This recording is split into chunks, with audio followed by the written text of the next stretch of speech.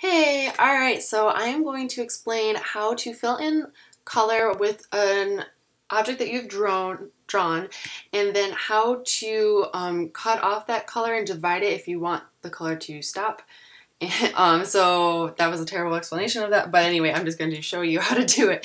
Um, so basically, I have already gone ahead and I have um, added some layers to this um, example here. Um, there's the background color, this like nice like peachy off-white color and I've locked that so right now I can select it and that gets like super annoying so I just made its own layer, locked it, and I did the same thing for the letters. So that way as I'm clicking and I'm selecting the objects, um, I can, I'm not constantly trying to unselect the letters. Um, a tool or a hotkey that I use insanely often, which I highly recommend, is Command 2 and Command 3. Command 2 is to lock something, and then Option Command 2 is to unlock it. Um, and then to hide something, you can do Command 3 um, and Option Command 3 to bring it back. Um, it's really helpful when you're selecting little pieces. Um, and I feel like once you do it, you do it a ton. uh, that's something that I learned when I was working at Champion. Okay, so we have these peppers here that we're going to color in. So I'm going to draw a rectangle and I'm going to select everything. And because I have these other layers locked, I don't have to worry about them. And I'm going to go to my Pathfinder palette and I'll pull it out so it's easier to see. And I'm just going to hit divide. And then I'm going to hit ungroup because naturally it just groups it. And then I'm going to select um, the rectangle and just delete. So now it's all filled in. However, um, we're going to want the stem to be green. So how should we make this green? Well, there's two options. Um, one option, um, since this is very much so a hand-drawn element, that's the aesthetic that it's going for, um, you can hit Shift B and that's going to pull up the blob brush tool. Um, I'm going to sample the black and then Shift B and pull up the blob brush tool. And then I'm just going to draw a line and when you use the blob brush tool, um, it will naturally like connect um, the other color around it. Um, so like you can like it's like flashing lines here.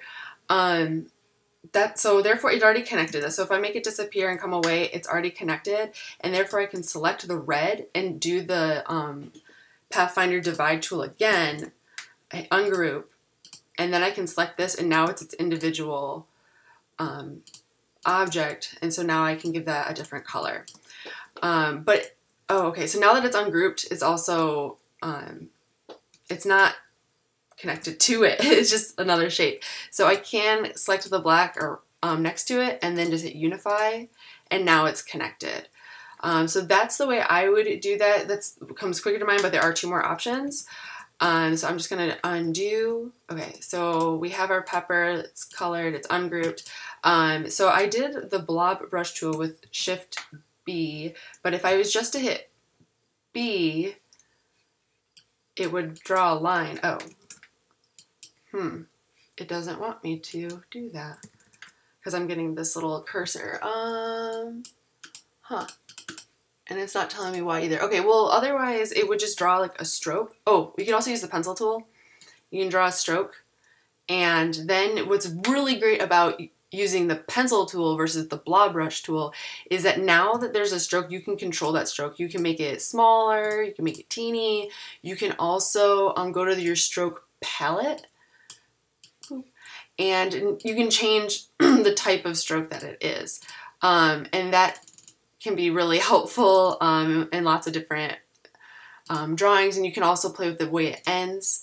So that's a really good way to, um, so I highly recommend using the pencil tool over the blob, blob brush tool. And then what you can do um, is so you have your pencil, you're gonna line it up to like how you want it.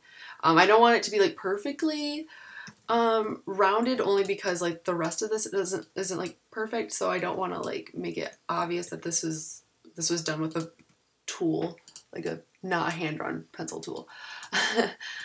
Okay okay so all right so now I have that but like if I was to grab this and grab the object and hit divide it's like wait what the what the heck? Like it just went away? And basically it just took that line and it just divided it and that's not what we wanted because we wanted this black in there so I select this, I go to object and go to expand. And this box is like, do you want to do the fill and you want to do the stroke? And I'm like, yeah. And then it basically turns into what we saw before um, as the blob brush tool, which we would select the black and then we would combine it. And then we would also grab the red behind and we would divide it. Um, and then this would be a separate object, but then this would also be a separate object, which we already combined it. So I'm sorry if I'm talking like super fast. Uh, so that's um, one another way to do it. Um, let's see. So this is divided. Oops, that's divided like that. Um, the other option is to use the pen tool. So hit P on your keyboard, and that's going to pull up the pen tool. And I'm just going to click and drag. And so I'm going to pull out these um, little, like you can see the little ball at the ends. Those are called my, um, oh my gosh, my ink, no, not, they're not my anchors. Oh my gosh, I totally know this. I'm just blanking at the second.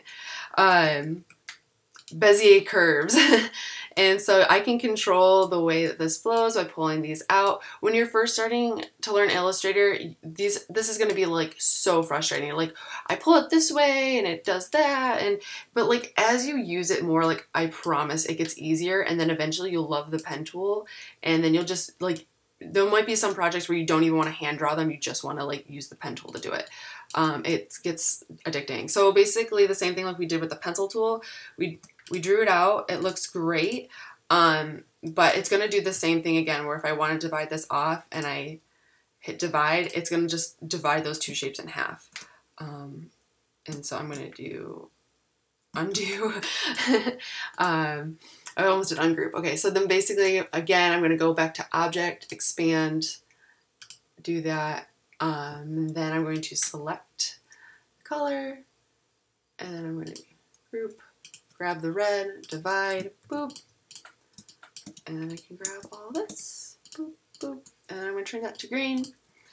And then, so it's also really cool because we use the Pathfinder tool in the beginning, we don't have to go through and color in all these individual shapes. We can just select it, go up here, then um,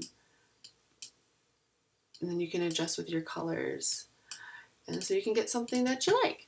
Um, so I hopefully, so hopefully, so I hope that was helpful. Um, if you still have more questions, please let me know. I'm happy to answer them. Like I've been working in Adobe Illustrator for a while, so um, sometimes I'm happy to answer questions. I just don't know what people are struggling with.